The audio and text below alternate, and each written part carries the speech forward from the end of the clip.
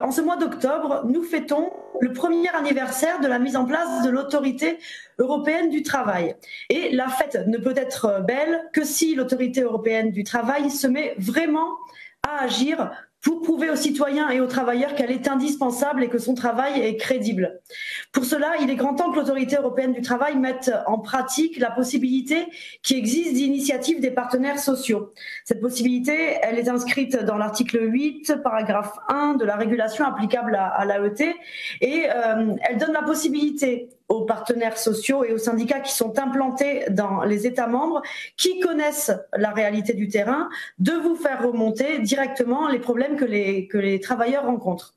Et euh, vous avez la possibilité chez vous, donc à l'autorité européenne du travail, de véritablement vous emparer de ces cas qui vous sont remontés euh, et de proposer des inspections concertées et communes afin de trouver des solutions.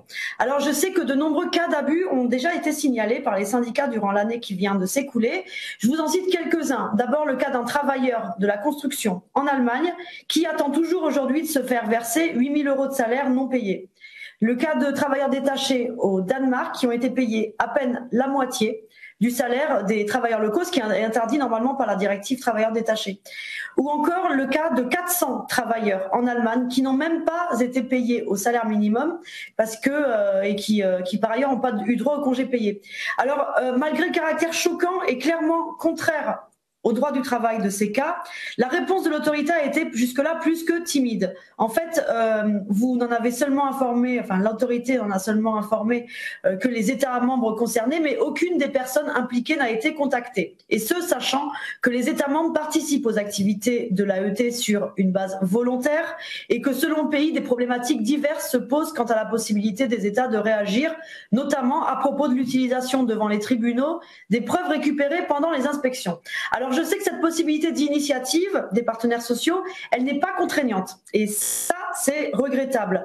Et je crois qu'il n'y a pas d'action plus pertinente pour une autorité européenne, une autorité du travail, chargée de protéger les travailleurs que de coopérer étroitement avec les partenaires sociaux et les syndicats et d'agir justement pour protéger ces travailleurs.